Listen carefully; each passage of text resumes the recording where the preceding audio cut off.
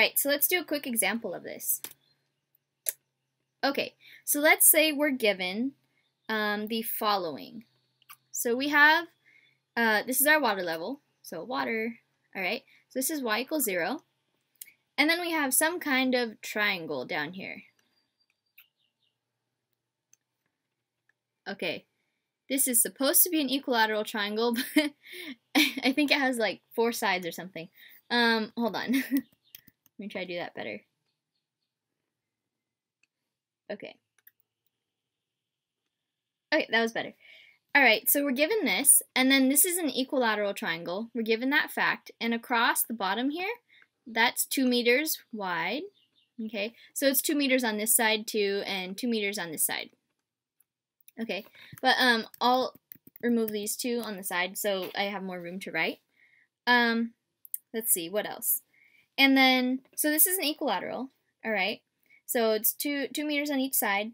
And then we're also given that the mass density of this fluid is 900 kilograms per meter cubed.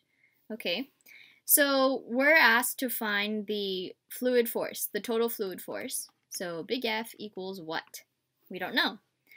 Okay, so I'm, what I'm going to do here is, um, well, the fact that this is equilateral can help us out a lot. So what I'm going to do is use geometry skills and cut a line.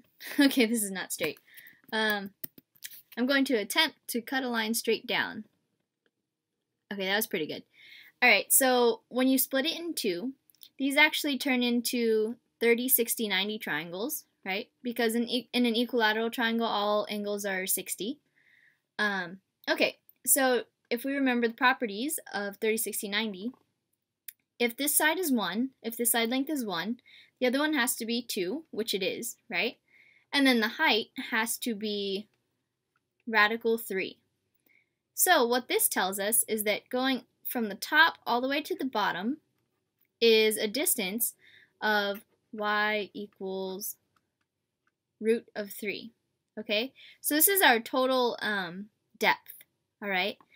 So this is actually going to be our A and our B for our interval, okay? So, um, yeah, our, let's see, what else do we have here? So now we need to find, so here's our uh, formula again. I'll just rewrite it so we know what we have and what we need to find. So we have A to B, and then Y, F of Y, and dy.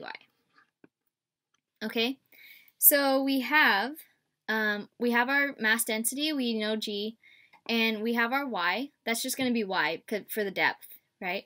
Um, and then f of y, that's what we have to find. So what is f of y? That's our horizontal distance at any given depth, okay? So this is like our f of y, let's say, f of y, okay? So what we can find, so here I'll draw another triangle. So like, pretend this is our big triangle, so 2, um, 2, 2, and then with a height of radical 3.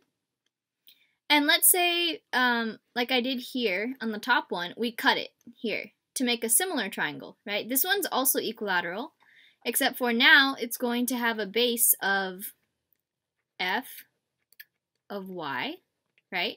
Because that's um, our horizontal distance. And our height, uh, we don't know what that's going to be. So that's just going to be h. Um, okay, so now what we can do here is actually do, um, what's it called?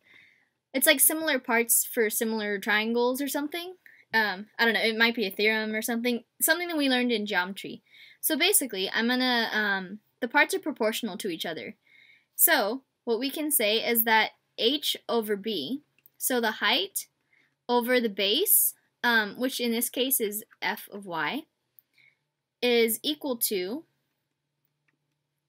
um, let's see, and then we have h, so of the big triangle, which is this, over the base, which is 2. Okay? So what we actually get is that f of y, well, why is it way over there? f of y is equal to 2 over radical 3 of h. And h is our depth, which we can also denote as y. right? That's what we're using for um, depth. Uh, so f of y is equal to 2 over radical 3 y.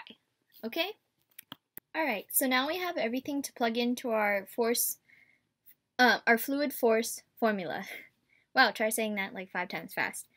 Okay, so our fluid force is going to be equal to our mass density, which is 900 kilograms per meters cubed, times um, the gravity constant, 9.8 meters per second squared. And then we have from A to B, which is going to be 0 to radical 3. And then we have our y times f of y, which we found was 2 over radical 3 y, and then dy. So now we have a, a normal integral. So what we can do is take out the um, 2 over 3. So we're going to get 2 over radical 3, sorry, radical 3, and then times 900 times 9.8, and then from 0 to radical 3 um, of y squared dy. And this is a pretty simple integral from here on out. Um, and we're going to get a, okay, so yeah, everything in front, um, 2 over radical 3. Whoa, that was a long radical there. Um, and then we have 900 and our 9.8. And this is going to be the y squared when you integrate that. That is 1 over 3 y to the third. And then we have radical 3 up there and a 0 down there. So when you evaluate this, it turns out to be about 17,640 newtons. Okay? And force, um, if you haven't taken physics yet, is always measured in newtons. Okay, that's the unit. All right.